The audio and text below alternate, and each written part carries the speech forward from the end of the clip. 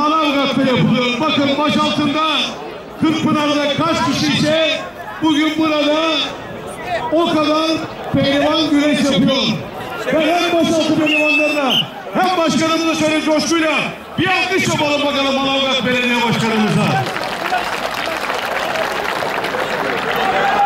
Buna er meydanı denmez.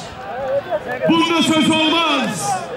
Ele, bele dili olmaz. Buna er meydanı derler. Pehlivanlar hanesi. Ciğer sökerdi.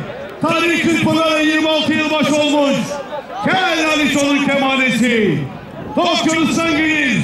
Muhteşemdir. Koca Yusuf'un sesi. Kurtdele'nin Ahmet Pehlivan'ı sorarsanız. Vatanıma, milletime mal olmuş. Pehlivanlık efendisi. Allah Allah. İllallah. Muhammedur Resulullah. Başaltı pehlivanlarla birinci turda. Alkışlarla diyelim maşallah Allah telefon versin.